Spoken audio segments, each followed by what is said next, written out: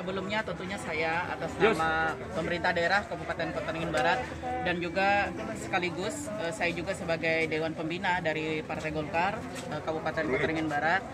Pada kesempatan ini mengucapkan terima kasih kepada Ketua Umum Partai Golkar Bapak Erlangga Hartarto yang sudah mengalokasikan kurang lebih 25.000 vaksin ya dan ini adalah catatan rekor terbesar ya untuk kabupaten dan total keseluruhan untuk Kalimantan Tengah itu ada 34 33 ribu ya karena yang dapat itu hanya Kobar dan Katingan ya jadi tentunya Ini saya gelombang kedua, udah gelombang kedua. ya. Terima kasih ya kepada eh, Pak Ketua Umum Pak Erlangga Hartarto yang eh, memberikan eh, alokasi yang cukup besar.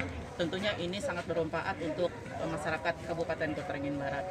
Dan insya Allah gelar vaksin ini selain hari ini kita laksanakan nanti tanggal 6 Oktober eh, dalam rangka juga kita memperingati hari ulang tahun Kabupaten Kota Ringin Barat yang ke-62 kita akan melaksanakan vaksinasi serentak di enam kecamatan ya. Sasaran kita tidak lain adalah masyarakat yang ada di ujung tombak, khususnya yang di desa-desa.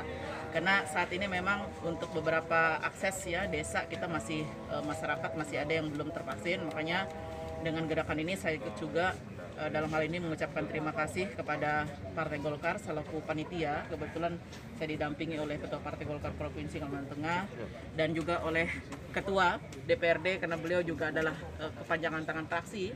Oleh sebab itu tentunya eh, apresiasi luar biasa saya ucapkan.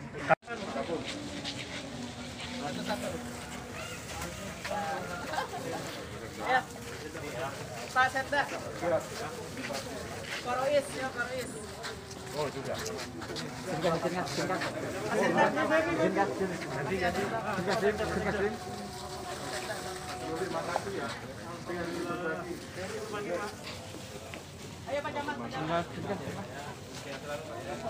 Jadi, jadi, kamu di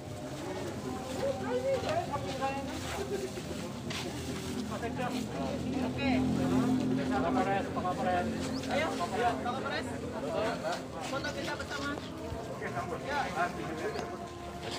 Saya sudah divaksin.